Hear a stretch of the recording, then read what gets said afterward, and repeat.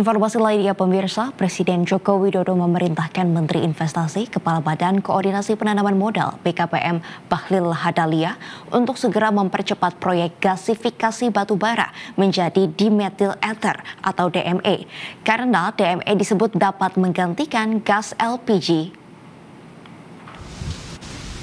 Hal itu diungkap Bahlil usai rapat terbatas dengan Presiden Joko Widodo di Istana Kepresidenan Jakarta pada Selasa 7 Maret 2023. Bahlil menyebut selama ini Indonesia masih melakukan impor LPG sebesar 6 hingga 7 juta ton per tahun. Bahlil menyebut lamanya proyek gasifikasi batu bara untuk menggantikan gas LPG oleh Bukit Asam di Sumatera Selatan karena masalah regulasi.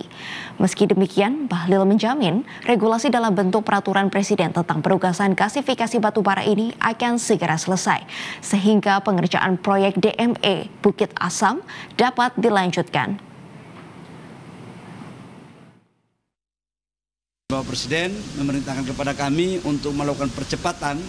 Ini adalah bagian dari mengoptimalkan batubara low kalori untuk pergantian DME kita karena kita tahu kita masih impor sekitar 6 juta sampai 7 juta per ton, eh, 6, 6 sampai 7 juta ton per tahun dan berlahan-lahan kita akan mengurangi impor dengan substitusi dari uh, eh, DME. Uh, tadi salah satu yang dibahas adalah tentang PT BA yang ada di Sumsel dan prosesnya masih di Perpres yang sebentar lagi akan selesai. Ini ada sedikit hitungan tentang karbon aja yang belum clear. Jadi sebentar lagi